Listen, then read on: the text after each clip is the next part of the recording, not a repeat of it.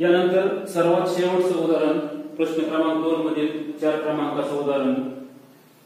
Point P Q R हे दिलेले आणि आता हे एक रेषे आहेत का नाही ते ओळखायचे म्हणजे कोलिनियर आहेत का नाही ते ओळखायचं आहे. नेहमीप्रमाणे distance formula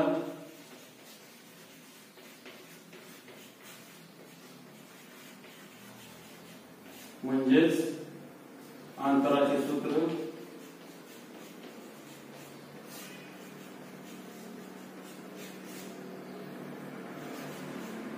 distance between P and Q equal to x2 minus x1 bracket square plus y2 minus y1 bracket square त्यानंतर आता सुरुवातीला पी क्यू मधील अंतर काढायचं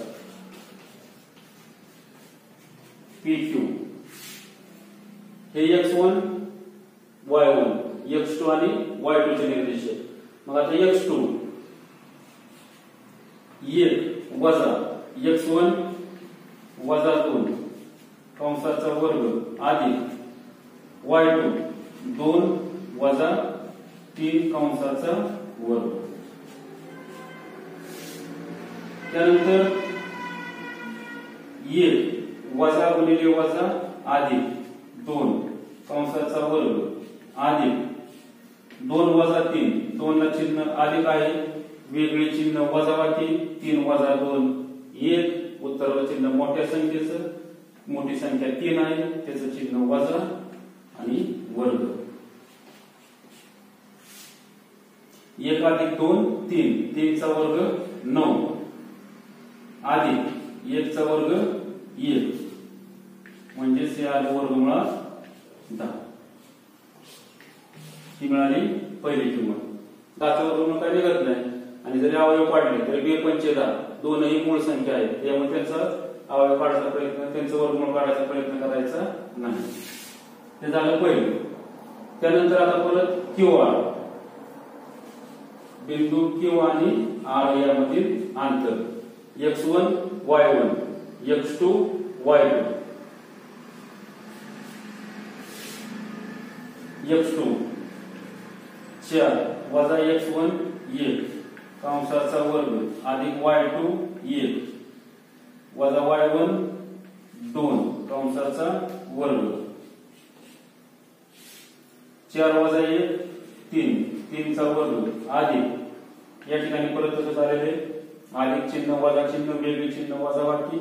दोन वजा एक एक. उत्तरा चिन्ह मोठ्या संख्येचं मोठी संख्या दोन आहे. दोनला चिन्ह वजा म्हणून ते वजा. आणि याचा वर्ग. तीनचा वर्ग नऊ. अधिक एकचा वर्ग एक. म्हणजे सुद्धा आलेले वर्गमुळात दहा. हे मिळालं दोन क्रमांकाचा अंतर. नऊ अधिक एक वर्गमुळात दहा. त्यानंतर आपल्याला अंतर काढायचे पी आणि बिंदू आर मधील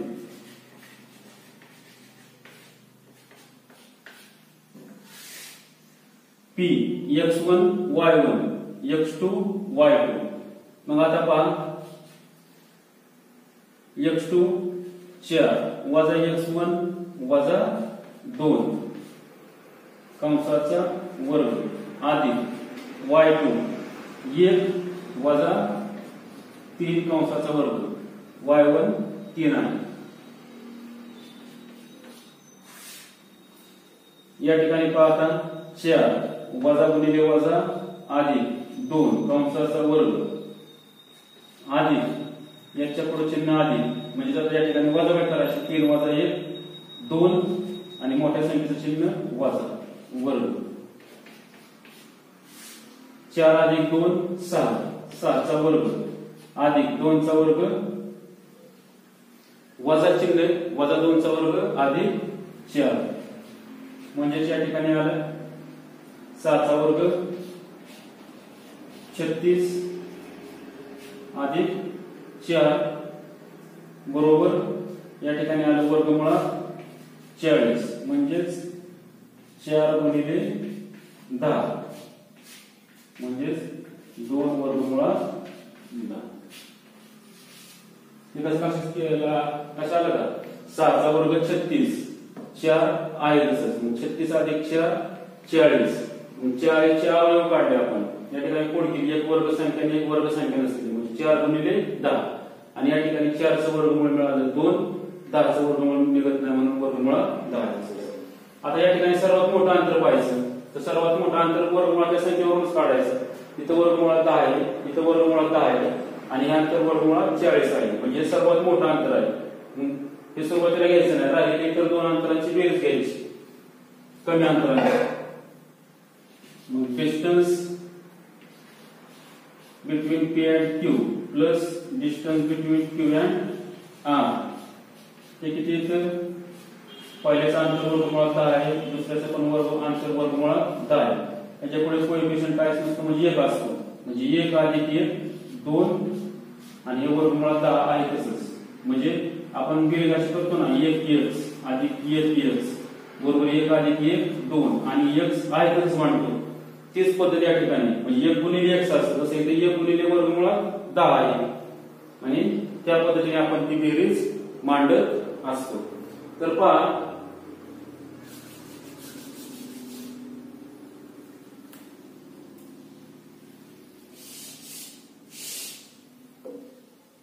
मग आता या ठिकाणी ही किंमत मिळाली ती चार क्रमांकाची.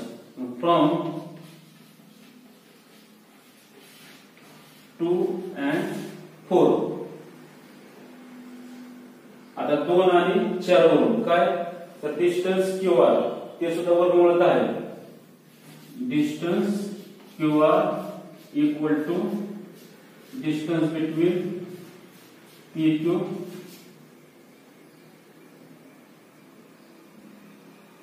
नाही, सर्वात मोठा अंतर कोणते? डिस्टन्स पी आर सॉरी एकच मिनिट सर्वात मोठा अंतर कोणते पी आर म्हणजे ते तीन क्रमांकाचं फ्रॉम थ्री आणि हे चार क्रमांक. थ्री अँड फोर हे काय? Distance between P and R equal to distance between P Q plus distance between Q and R म्हणजे सर्वात मोठं जे अंतर आहे ते इतर दोन राहिलेले अंतर त्यांच्या बेरजे एवढं आहे. So point P Q and R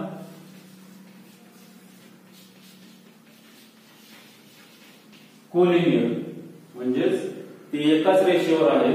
म्हणजेच काय लिहायचंय बिंदू पी क्यू आर हे एक रेषीय आहे. न सत्ता कोलिनियर म्हणजे काय? एक रेषीय आहे. म्हणजे अशा प्रकारे आपण पाच पॉईंट एक मधील प्रश्न क्रमांक दोन यामधील चार उदाहरणं पाहिलेली आहेत. चारही उदाहरणं सोडवण्याची पद्धत सगळी एक सारखीच आहे आणि ही पहिल्या प्रश्नावर आधारित आहे. म्हणजे दोन बिंदू मधील अंतर. मग जर दोन बिंदू मधील अंतर काढायला जमलं तर ही उदाहरणं काय अवघड वाटणार नाही. फक्त दिसताना मोठी परंतु एक लक्षात ठेवायचे जर थोडी जरी कुठं चूक झाली तरी पूर्ण उदाहरण चुकलं. थोडी जरी चूक झाली तरी. त्यासाठी व्यवस्थित पायरे पायऱ्यानं आणि हे लक्षात ठेवायचे फक्त अंतराचे सूत्र. एक्स टू वाजा एक्स वन कंसाचा वर्ग अधिक वाय टू वाजा वाय वन कंसाचा वर्ग. म्हणजे तुम्हाला काही अडचण येणार नाही. या प्रकारे तुम्ही अजून इतर उदाहरणांचा सराव करा. म्हणजे तुम्हाला काही अडचण येणार हे आहे प्रॅक्टिस सेट पाच पॉईंट एक मधील तीन क्रमांकाचं उदाहरण. यामध्ये काय विचारले पहा? Find the point on X axis which is equidistance from A and B म्हणजेच काय? एक्स अक्षावरील आपल्याला असा बिंदू शोधायचा आहे की तो ए आणि बी बिंदू पासून समान अंतरावर असणार आहे. समजा तो आपण पी बिंदू घेऊया.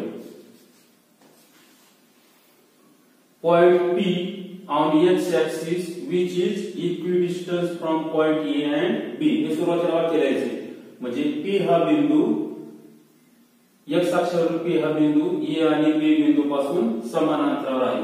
मग आता त्याचे निर्देशक काय होणार आहेत पहा. तर तो एक्स अक्षावरील आहे म्हणून त्याचे निर्देशक एक्स शून्य. म्हणजे लक्षात घ्या. हा एक्स ऍक्सिस हा वाय ऍक्सिस एक्स अक्षावरील कोणत्याही बिंदूचे निर्देशक एक्स अक्षावरील कोणत्याही बिंदूचे निर्देशक सुरुवातीला एक्स आणि नंतर शून्य. म्हणजे एक्स अक्षावरील समजा या ठिकाणी दोन आहे या ठिकाणी तीन आहे. या बिंदूचे निर्देशक दोन शून्य. म्हणजे सुरुवातीला एक्स निर्देशक असतो नंतर वाय निर्देशक असतो. वाय निर्देशक नेहमी एक्स अक्षावरील शून्य असतो.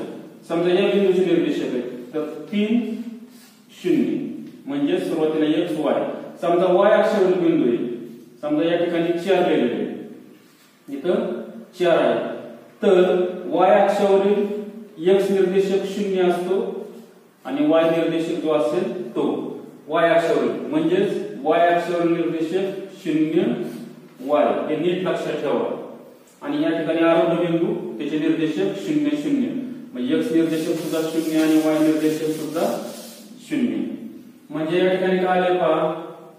तर पी हा एक्स अक्षावरील बिंदू आहे की जो ए आणि बी बिंदू पासून समान अंतरावर आहे आणि तो एक्स अक्षावरील असल्यामुळे त्याचे निर्देशक एक्स शून्य. आता तो समान अंतरावर आहे. म्हणजे फ्रॉम गिवन कंडिशन जेवढं पी ए अंतर असणार आहे तेवढंच पी बी अंतर. पी ए अंतर असणार आहे तेवढंच पी बी अंतर. मग म्हणजे त्यांनी सांगितले का? पी बिंदू ए आणि बी पासून समान अंतरावर. म्हणजेच पी ए बरोबर पी बी मग आता या ठिकाणी आपण डिस्टन्स फॉर्म्युला वापरू शकतोय. पण त्याच्यापूर्वी पहा पी ए बरोबर पी बी म्हणजेच पी ए वर्ग बरोबर पी बी वर्ग सुद्धा आपण लिहू शकतोय. म्हणजे दोन्ही बाजूंचा वर्ग करून. म्हणजे तुम्हाला वर्गमुळाचं चिन्ह विनाकारण मांडायची आवश्यकता नाही. मग आता डिस्टन्स फॉर्म्युला डिस्टन्स फॉर्म्युला काय आहे? Distance equal to x2 minus x1 bracket square plus y2 minus y1 bracket square. आणि डिस्टन्सचा जर स्क्वेअर केला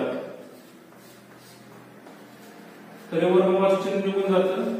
X2 वजा x1 bracket square plus Y two minus Y one bracket square म्हणजे आता वर्ग केल्यामुळं वर्गमुळाचं चिन्ह निघून गेलेले आणि दोन्ही बाजूला आपण वर्ग केले. आहे तर ह्याच सूत्राचा वापर करून आपण हे उदाहरण सोडवणार आहे.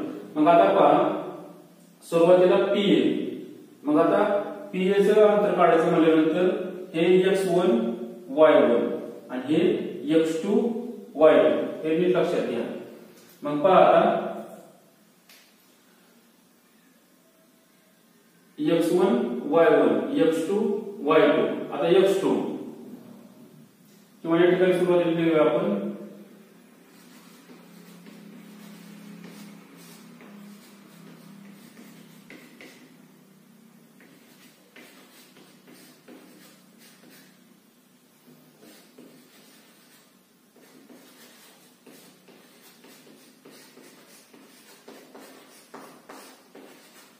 हे डाव्या बाजू कोणासाठी आहे पी ए वर्गसाठी आणि उजवी बाजू कोणासाठी आहे पी बी वर्गसाठी हे नीट लक्षात घ्या.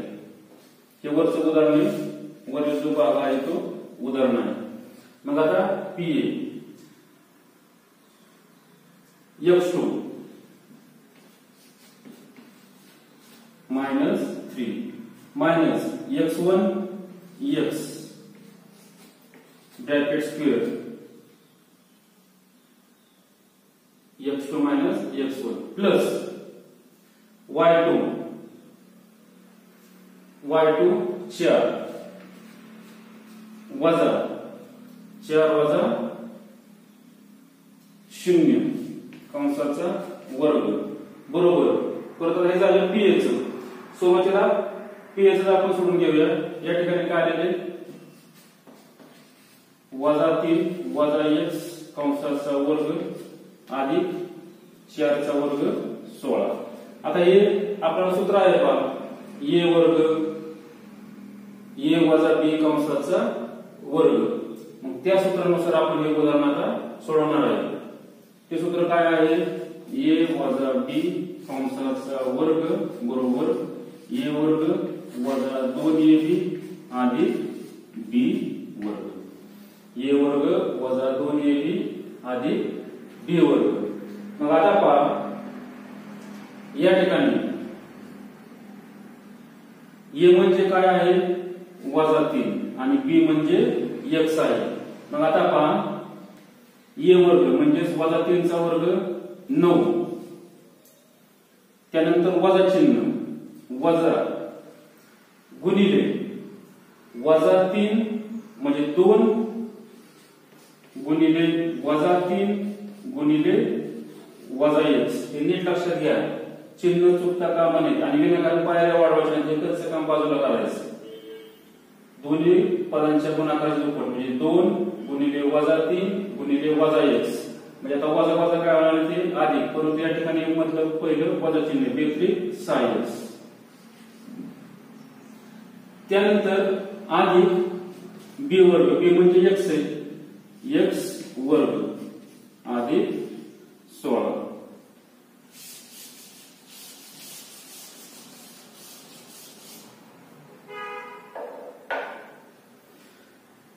त्यानंतर आता इकडल्या वजे बाजूचं करूया आपण आता. एक्स टू आता हे पण असेल पी बी म्हणजे एक्स वन वाय वन हे X two Y two B जो आहे तो एक्स टू आणि वाय टू ची निर्देशक मग आता पहा एक्स टू एक वजा एक्स कंसाचा वर्ग अधिक वाय टू वजा चार वजा शून्य. कंसाचा वर्ग. त्यानंतर पहा उजव्या बाजूला पाहायचं. या ठिकाणी ए वजा बी कंसाचा वर्ग म्हणजे मग सांगितल्याप्रमाणे म्हणजे एकचा वर्ग ए वजा दोन ए बी म्हणजे दोन गुणिले एक गुणिले एक्स दोन एक्स आणि आधी एक्स वर्ग. वजा चारचा वर्ग सोळा. मग आता पहा या ठिकाणी अधिक सोळा अधिक सोळा म्हणजे अधिक सोळाचं पक्षांतर केलं तर वजा सोळा होणार आहे. म्हणजे उद्या बाजूला राहिला काय आता एक वजा दोन एक्स अधिक एक्स वर्ग त्यानंतर परत पहा या ठिकाणी सुद्धा एक्स वर्ग आहे या ठिकाणी सुद्धा एक्स वर्ग आहे. म्हणजेच पहा अधिक एक्स वर्गाचं पक्षांतर इकडे केलं उजव्या बाजूला तर वजा एक्स वर्ग म्हणजे एक्स वर्ग एक्स वर्ग कॅन्सल आता राहिले काय? नऊ वजा सहा एक्स बरोबर एक वजा दोन एक्स मग या ठिकाणी नक्की आता एक्स दोन्ही बाजूला आहे. डाव्या बाजूला पण आहे आणि उजव्या बाजूला पण आहे. म्हणजे कोणत्या एक्स पक्षांतर करायचं? वजा सहा एक्स करायचं का वजा दोन एक्स करायचं? तर ज्याची किंमत कमी अंक कमी म्हणत नाही. ज्याची किंमत कमी त्या अंकाचं पक्षांतर करायचं. पदा चलासह. म्हणजेच वजा सहा एक्सची किंमत वजा दोन एक्सपेक्षा लहान आहे म्हणून वजा सहा पक्षांतर उजव्या बाजूला करायचं. म्हणजे आता पहा काय राहिलं एक वजा दोन एक्स वजा सहा एक्स पक्षांतर होणार आधी सहा एक्स आणि उजव्या बाजूला काय राहिलं? फक्त शिल्लक नऊ. परत आधी एकचं पक्षांतर इकडे केलं आपण.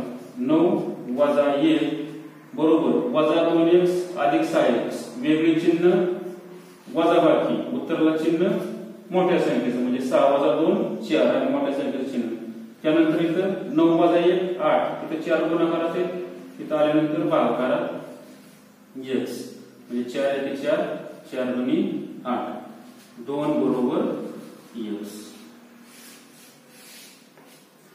म्हणजे एक्सची किंमत काय आली? दोन. मग खाली परत काय करायचे? हा बिंदू द्यायचा. आहे पी कंसात दोन शून्य. म्हणजे कशा पद्धतीने लिहायचे पहा point P two zero is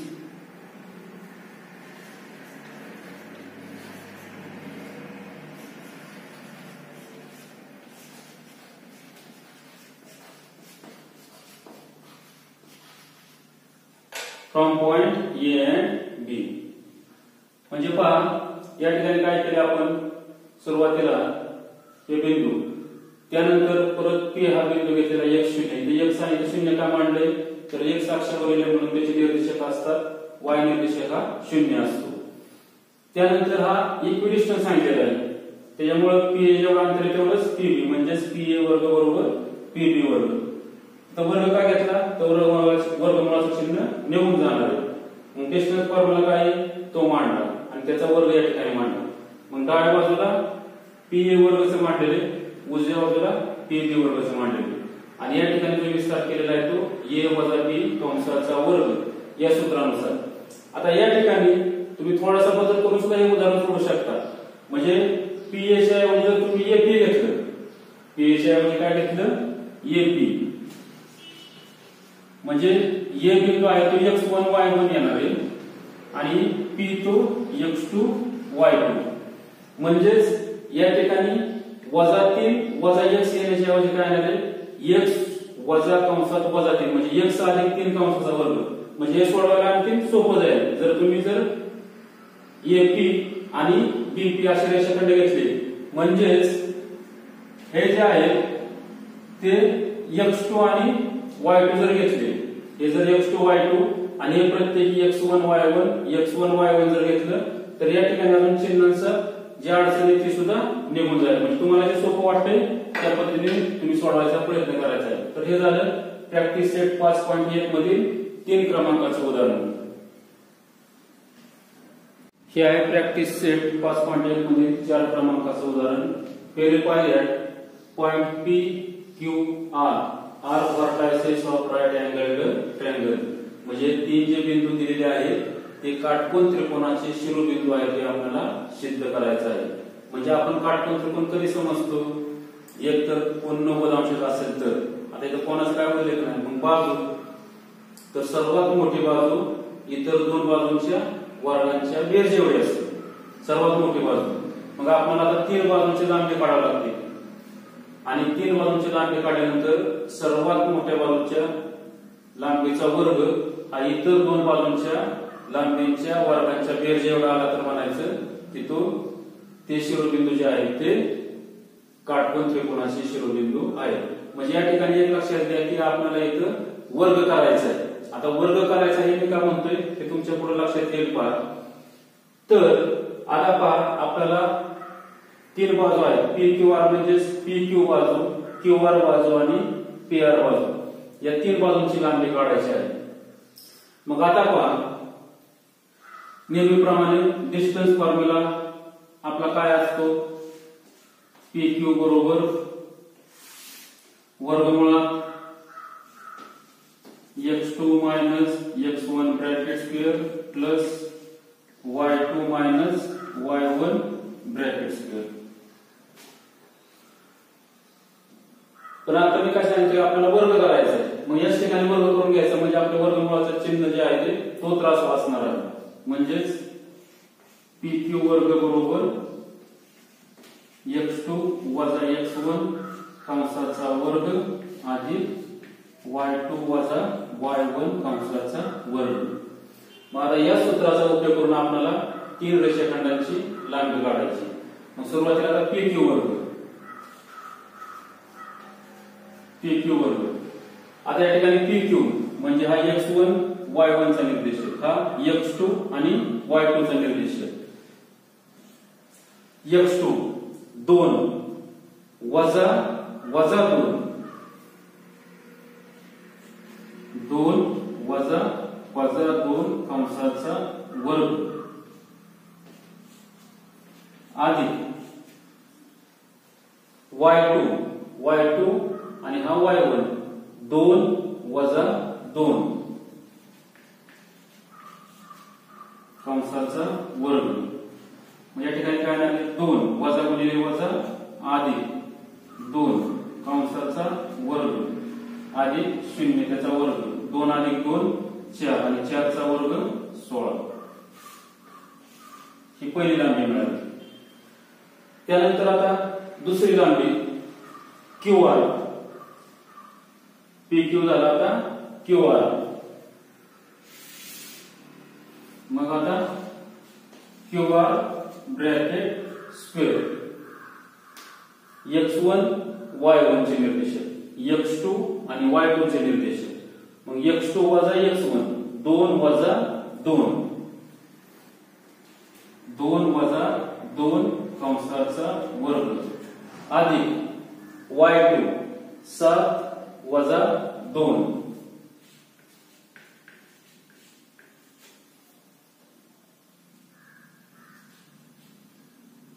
दोन वजा दोन शून्य. शून्याचा वर्ग. अधिक सात वजा दोन पाच. पाचचा वर्ग पंचवीस. इथं डायरेक्ट सोडलेले माझे मांडले पायरे वाढवतो. सात वजा दोन पाच. पाचचा वर्ग शून्याचा वर्ग शून्य आणि पाचचा वर्ग पंचवीस. हे मिळालं दोन क्रमांकाचं. प्रत्येक आपण वर्गाच्या किमती काढते परत इथं वर्गमूळ काढत बसायचं नाही. पी क्यू बरोबर चार क्यू आर बरोबर पाच आणि काढले तर काही चुकीचं नाही. त्यानंतर आता P R X one Y वनचे निर्देशक एक्स टू वाय टू पुन्हा दोन वजा वजा दोन दोन वजा वजा दोन कंसाचा वर्ग अधिक वाय टू सात वजा दोन कंसाचा वर्ग. दोन वजा दोन वजा गुणले वजा अधिक दोन अधिक दोन कंसाचा वर्ग अधिक सात वजा दोन पाच. पाचचा वर्ग. दोन अधिक दोन चार. चारचा वर्ग सोळा. अधिक पाचचा वर्ग पंचवीस. पी आर वर्ग या ठिकाणी सॉरी म्हणजे किती आलं? सात पाच अकरा. हा चार एक. एक्केचाळीस. म्हणजे पी आर किती आलेले? एक्केचाळीस आलेले. मग आता पहा. या ठिकाणी पायथागोरस प्रमाणाचा व्यत्यास म्हणजेच कॉन्व्हर्स ऑफ पायथागोरस थेरम काय आहे? तर सर्वात मोठ्या बाजूचा वर्ग हा इतर दोन बाजूंच्या वर्गांच्या बेरजेवर असतो. आता सर्वात मोठी बाजू कुठली असणार आहे? जी किंमत एक्केचाळीस आली म्हणजे सर्वात मोठी असणार आहे. म्हणजेच पी आर वर्ग. इतर दोन बाजूंच्या वर्गांच्या बेरजेवर आहे का? ते पाहायचं. हे तीन क्रमांक from one two and three सर्वात मोठी बाजू कोणते? पी आर आणि त्याचा वर्ग. यांची बेरीज. किती आलेली? किंवा या ठिकाणी from two and three R वर from one and two P Q square plus Q R square बरोबर सोळा अधिक पंचवीस. म्हणजेच किती आलं? एक्केचाळीस. म्हणजे आता पहा सर्वात मोठ्या बाजूचा वर्ग एक्केचाळीस आणि इतर दोन बाजूंच्या वर्गांची बेरीज एक्केचाळीस. म्हणजे या ठिकाणी आपण तीन आणि चार from three and four P R वर्ग. पी आर वर्ग बरोबर पी क्यू वर्ग अधिक क्यू आर वर्ग. म्हणजे या ठिकाणी पहा आपण अगोदर काय केलं? त्या दोघांच्या वर्गांची बेरीज केली. ते आले एक्केचाळीस आणि सर्वात मोठ्या बाजूचा वर्ग ते सुद्धा आलेला आहे एक्केचाळीस from three and four P R वर्ग बरोबर पी क्यू वर्ग आणि क्यू आर वर्ग. या ठिकाणी शेवटचा वाक्य लिहायचं. So by converse of Pythagoras theorem.